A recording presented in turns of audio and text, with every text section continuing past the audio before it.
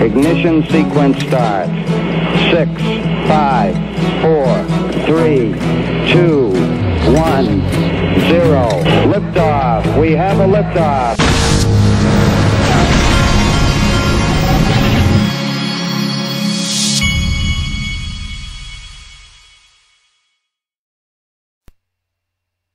Hey everybody, this is the Digital Asset Investor, and this is going to be one of those videos where I'm going to open your eyes. By the end of this video, you should be, if you, if you haven't been around too long, and even if you have, you, you might very well be having an aha moment because I kind of did as I put this video together. These are my favorite videos to make and they normally make an impression. I believe this one will. I want to start with this Bond Crypt tweet from November 13th of 2018.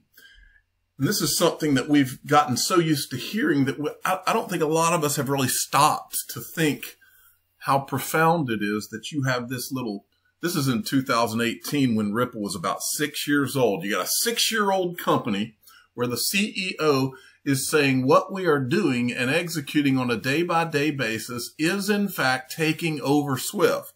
Now, Swift is more or less the banking system at, uh, or has been. So the question is, and this is, this is the reason that I have been able to build an entire YouTube channel around one company and one digital asset because I can't get over in my mind. I, I've never been able to get past who are these people? Who, who makes a claim like that? Who says I'm going to take over Swift? What startup in your lifetime have you ever even heard say anything bordering on this bold of a claim? Who would have, and here's the bigger question. Who would have to be behind a company or a group of people who are running a company in order to make these kind of claims? What kind of a backup? And I don't just mean money people. I mean power people. Who would have to be behind you for you to even think about saying these kind of things. And if you're wondering if he really said it, watch this. I'm hesitant to comment on any rumor because if you comment on the false rumors, then you have to comment on the true rumors, and so you just avoid all. Is there a possibility that Ripple could take over Swift one day? Well, I think what we're doing and executing on a day by day basis is, in fact, taking over Swift. In that, you know, we've now signed up, you know, well over 100 banks. Some of the largest Swift-enabled banks in the world are now using Ripple's technology. Uh, I mean, just last week we saw a, a, a remittance company who's using Ripple's technology. They reduced the price per transaction to their consumers from $20 per transaction to $2 per transaction, and they saw an 800% increase in usage overnight. That's the type of dynamic that Swift isn't able to support that we're able to address right now. And that's something we saw just, just in the last couple of weeks. So we certainly want to see banks succeed in this new world order and take advantage of these technologies in the new world order. So we're, not only is he going to replace Swift, this six year old startup, not only is he going to replace Swift, but he's going to create a new world order. Ask yourself, when in your life have you ever heard anything even close to that out of anybody running any company that's six years old? And I promise you, you have not. That's why I'm here. That's why you're here because you know it in your gut. You know this is something different. Now pay attention because here we go. Now, what have we been seeing? What have we been seeing for the last week? Okay, just look around, watch the news. It says, yes, what about the historic Middle East peace deal signed today? Abraham Accords, brokered by Trump and Jared Kushner, who is Ivanka Trump's husband and Donald Trump's son-in-law. There's Benjamin Netanyahu from Israel. Okay. Historic now, look, for, for you young people who haven't been around, if there's one thing that if you want to change the world, create Middle East, Israel peace. Okay. This has been from the time I was a little boy. This has always been, it's always been war after war. There's never peace. No matter what anybody does, there's no peace. And if you think that this is about something other than money, then forget it. Now it is about religion. Okay. But it's about the petrodollar. It's about Israel, Middle East, oil, petrodollar, world reserve currency. It's all about that. So, so my point here is that Ripple doesn't just come along and make all these bold claims and talk about new world order. And what, what they're saying when they say new world order, I'm telling you, it's the replacement of, of that old world order, which is the petrodollar, which is the way the U.S. has had the dollar world reserve currency. They've come to an agreement with all these countries. That's what this is about. You, I'm going to let, look, here, just keep watching. Here we go. So here's what's going on. It's a peace deal. Look at all the players. Look who's in this picture right here. You'll see there's Jared Kushner, right? Look at Steve. Uh, we ought to call him Sneaky Steve Mnuchin. That, that'd be a nice name for him. There's Ivanka Trump. There's Benjamin, Benjamin Netanyahu, and I'm assuming that's his wife. Okay. This looks like the ultimate thumbnail for this video, which it will be. All right. Then you've got this. Look at this. Now, from, from sleepovers to speaking fees, New York Times profile reveals Netanyahu's close ties to the Kushners. Just listen. To, oh no. I hope that, that I didn't. Let me see if I can refresh this and get access to this because I had access earlier. If not, I'm going to have to stop this and go get the access that I just lost. But anyway, no, I'm not going to stop. Here's what I'm going to tell you is that in what this article is about it, it, it, says Netanyahu's relationship with Trump's son-in-law, Jared Kushner, goes way back. His father featured alongside Adelson and Ron Lauder in a list of potential donors Netanyahu compiled in 2007. Netanyahu literally spent the night at Jared Kushner's house when he was a little boy and slept in Jared Kushner's room, folks. It, it, you look it up. It, it was in this article. I was going to read it to you, but I'm not going to. But if you still just think that that doesn't sound believable, I'll show you something else. You know who's in this picture? That right there.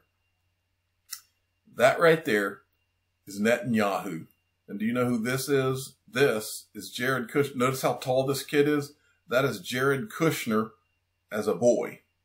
They're playing soccer at Jared Kushner's school. Okay? This soccer ball right here, I think might be symbolic. Okay? And I don't remember if I kept it in here or not. I, hopefully I did. But um, if we see it, we see it. If we don't, I'll remind you. Um, there is a, let me go ahead and say it before I forget. You can look it up. There's a video of Vladimir Putin and he's meeting with Trump and he hands Trump a soccer ball, and he's basically saying the ball's in your court. And I, am wondering if it was a reference to back to this this picture right here. Maybe maybe it's not, but let's move along. So remember this: Jared Kushner knew Benjamin Netanyahu even as a little boy. What does this have to do with anything? Well, have you ever heard of AIPAC?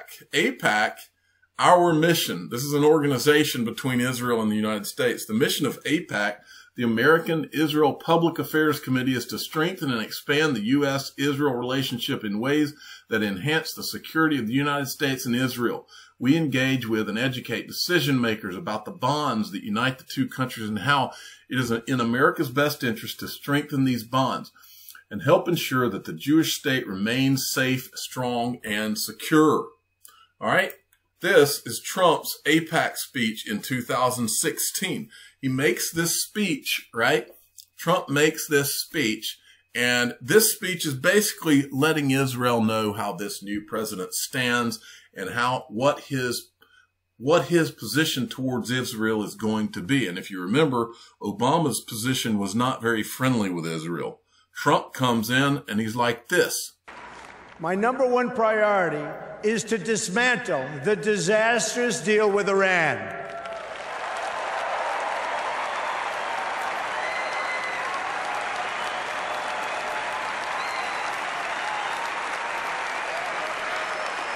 Thank you. Thank you. I have been in business a long time. I know deal making. And let me tell you, this deal is catastrophic for America, for Israel, and for the whole of the Middle East. By the way, do you remember when when Obama flew all that those U.S. dollars in cash to um, Iran as a part of his deal? How would you get that money back? What if What if all of a sudden there was a digital dollar and people were told to turn their dollars in or those paper dollars become worthless? Might be an easy way to, to get that money back, wouldn't it?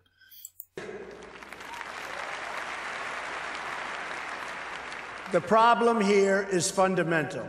We've rewarded the world's leading state sponsor of terror with $150 billion and we received absolutely nothing in return.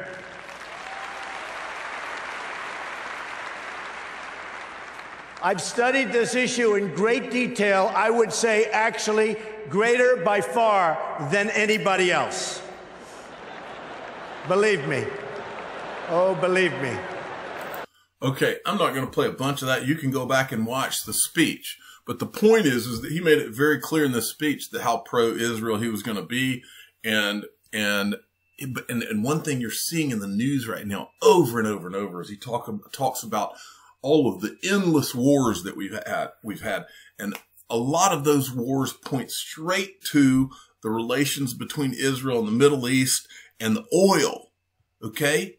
It all points that way, folks. This is not my imagination. So here we go.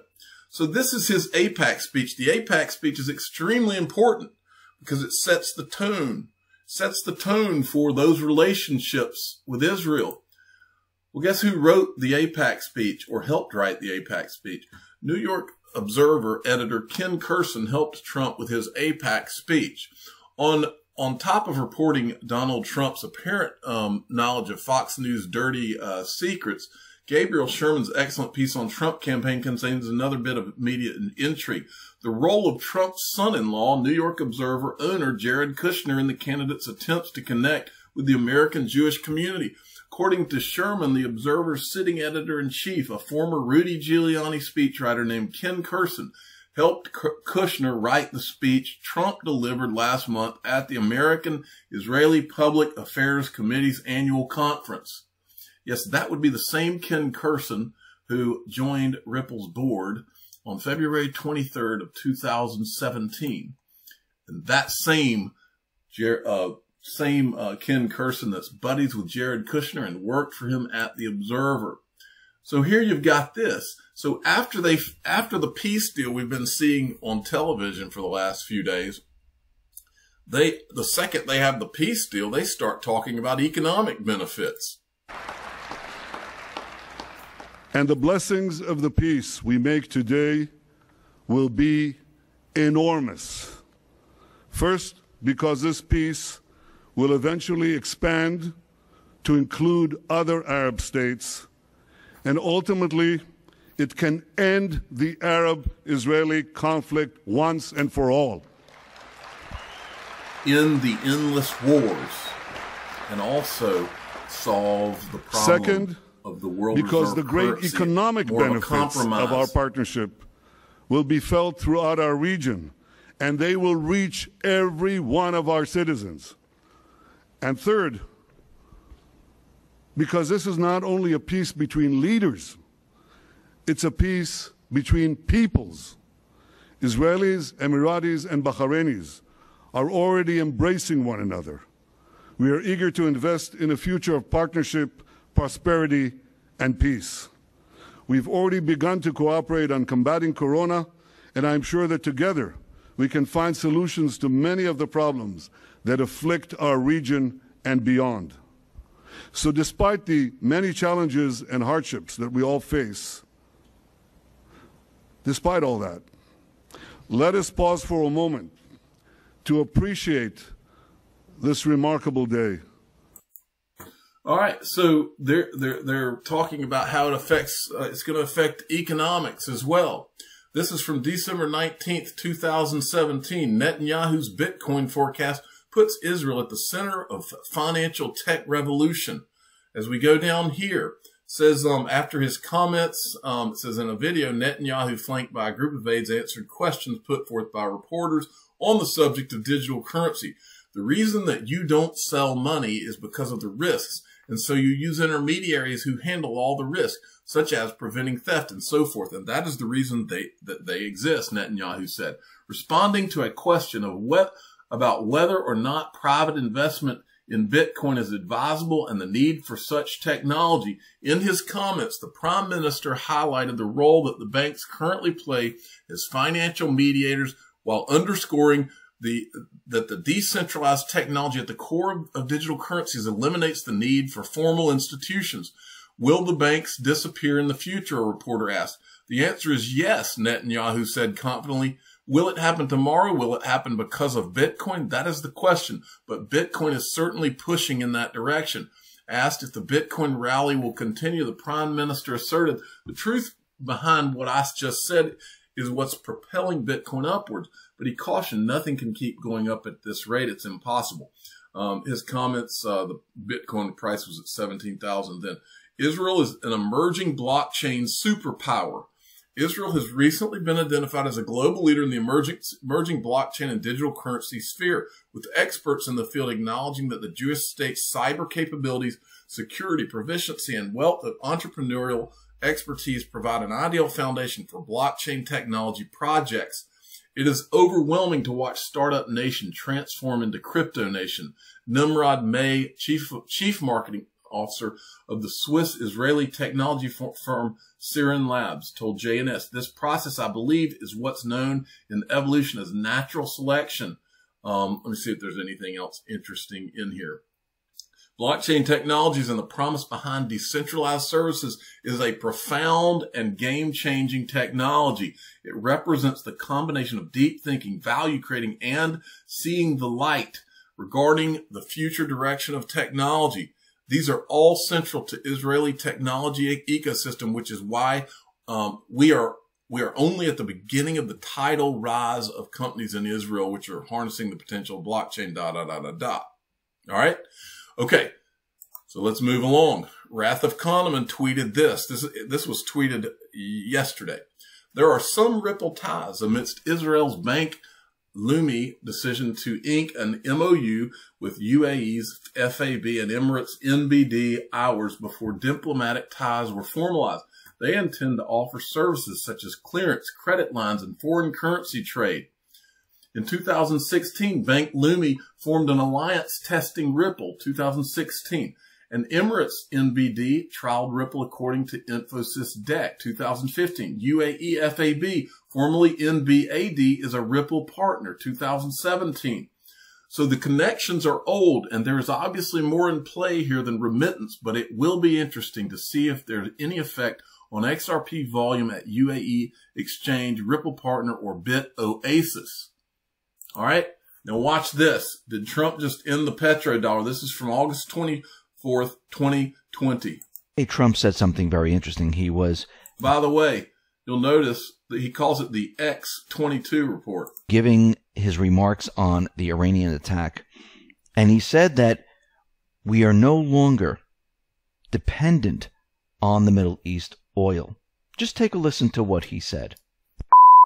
These are accomplishments that nobody thought were possible. And options in the Middle East became available we are now the number one producer of oil and natural gas anywhere in the world. We are independent and we do not need Middle East oil.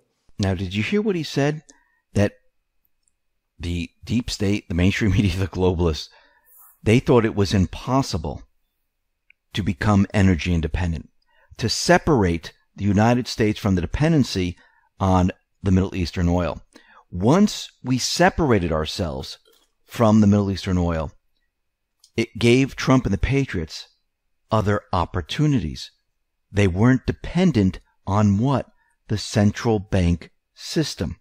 Now, this is very important because once we sever that tie, which Trump has just confirmed, we no longer need the petrodollar system. So think about what Trump and the Patriots have done up to this point. They're reworking all the globalist trade deals, removing the regulations, cutting taxes, and becoming energy independent so we're no longer dependent on the Middle East, which supports the petrodollar system, which supports the Federal Reserve System, the central bank, which supports other central banks around the world. Now remember, the only reason we needed the Saudis is we were we were from what Nixon did is we were protecting the Saudis. The deal was we were protecting the Saudis in return for for them making everyone buy their oil in U.S. dollars. So if the if if we no longer need to protect the Saudis, they may want to work with us on on a new order, a new world order, right? Watch this video from I think it's around the um. Let me see if I can get. I think it's right let me see if I can get to the place where I was. About right here. The, the global US dollar standard is supported by the petrodollar. It doesn't say petrodollar here, but the you really should read this story. We'll put a link here at the bottom. The untold story behind Saudi Arabia's 41 year US debt secret. Now, this was a top secret deal that was made by the US Treasury Secretary William Simon during the Nixon administration, when Nixon ended the gold backing of the US dollar in August of 1971, this deal sort of took its place. And in 2016, you know, this is this was kept a secret from 1972 to 2016 that there was this petrodollar. And this was an agreement, and, and Bloomberg got it released in 2016 through the Freedom of Information Act. And what it disclosed is that there was this secret deal made uh, where Saudi Arabia, we would buy oil from Saudi Arabia. We printed those dollars to buy the oil. They take the, they sell us the oil and they take the profits from that, and they would reinvest them in U.S. treasuries. And this disclosed how big their U.S. Treasury holdings were for the very first time. This is Saudi Arabia, and these are the other countries. But what it would do is lump all oil exporters together and report their treasury holdings so it would keep the Saudi Arabian deal secret. Uh, so this is coming to an end with the uh, yuan based oil contracts. And now at the same time, there's countries around the world proposing gold backed currencies. This is the Malaysian prime minister proposing a regional currency that's uh, based on gold, Special replacing currency. the US dollar for trade there. And now the Russian central bank is considering a gold backed cryptocurrency. Now, remember, um, re- what I think they're going to do is there's going to be a lot of central bank uh, backed digital currencies, and XRP is going to be the bridge but do you remember that lady right there? Remember when Brad Garlinghouse was, was in the, the room with all the central bankers in Switzerland? She was one of the ones sitting at the table there. It was her. It was the guy from the BIS. It was Christine Lagarde from the IMF. There's only one, there's only one reason that Brad Garlinghouse would so comfortably walk around talking about replacing SWIFT and creating a new world order. And that is if the, if these level people are in on it, folks, that's the reason I've been so fascinated by this company for all this time is because this is not my imagination. These things are not popping into my mind out of nowhere. It's all tied together. It's so obvious. You, you, you, you have to stick your head in the sand and not notice it after a while.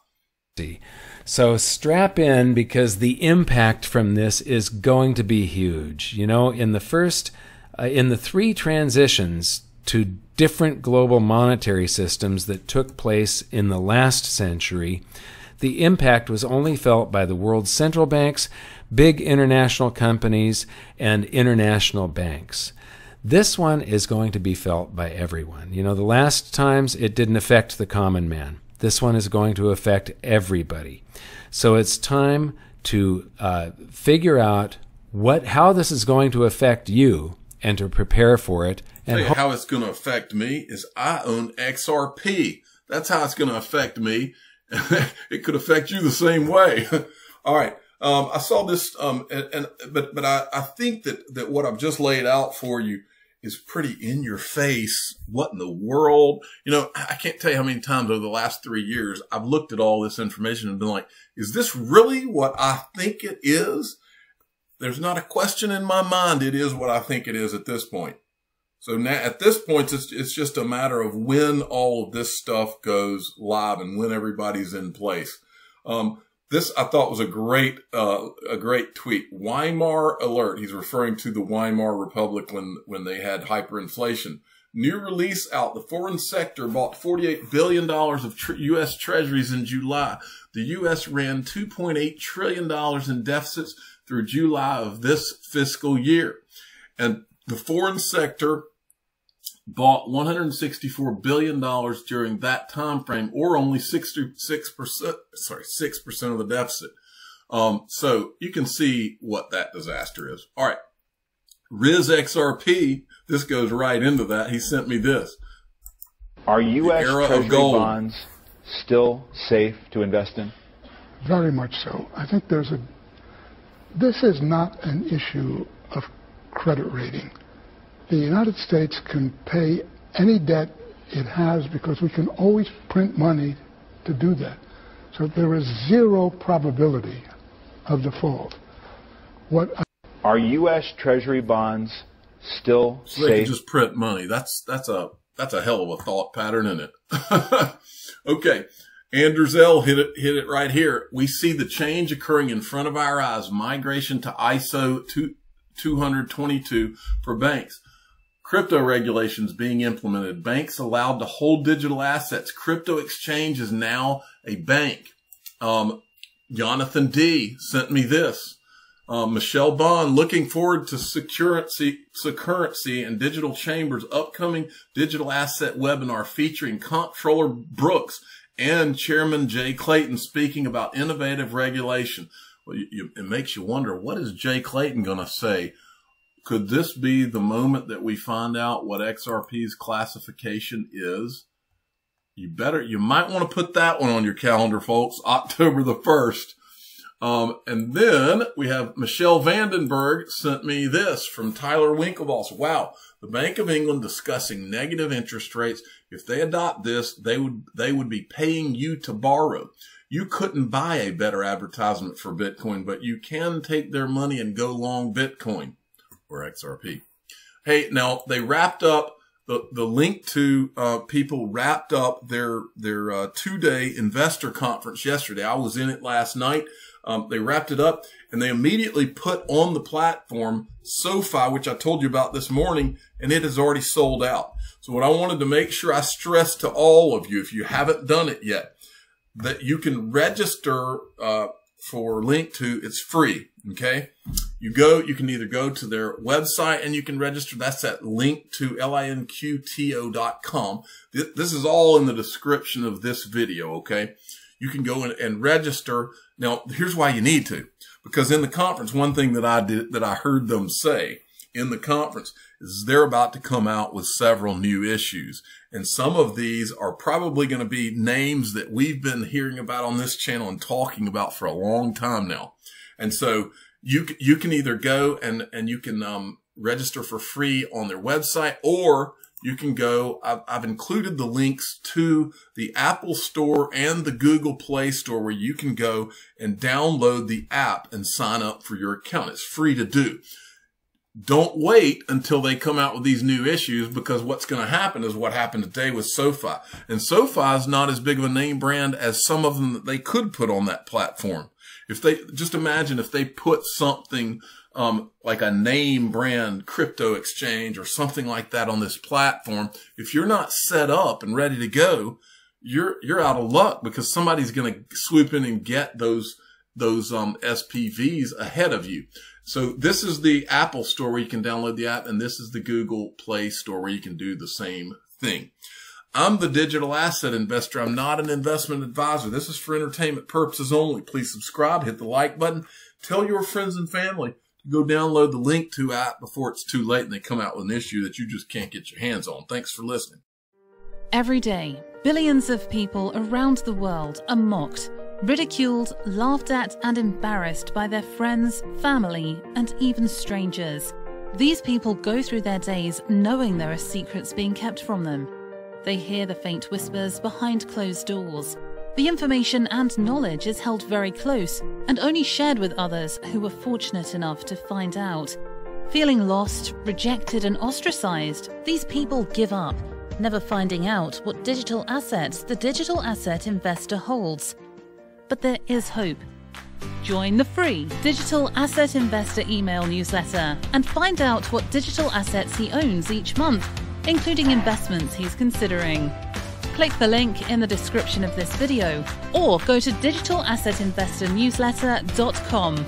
Put an end to your days of gloom and depression. Join the greatest free digital asset email newsletter ever created.